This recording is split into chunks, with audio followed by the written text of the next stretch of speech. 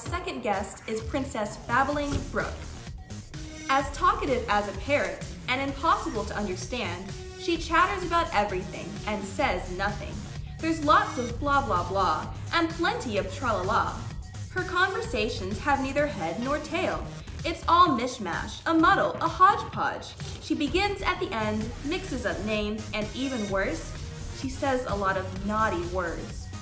Holding a conversation with her is exhausting. Getting a word, a word in edgewise demands great skill.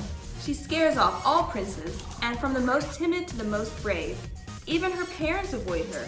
They fear for their eardrums.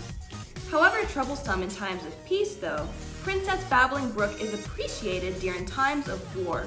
Her terrible chattering is quite useful in forcing soldiers to run off into battle when they lack courage and, as effective as a cannon, her babbling has been known to cause even the boldest of enemies to flee. Thank you, Princess Babbling Brook. This is guest number two, Princess Babbling Brook.